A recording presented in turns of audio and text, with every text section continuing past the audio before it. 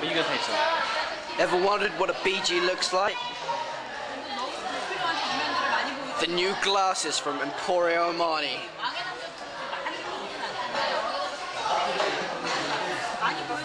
Oh yeah.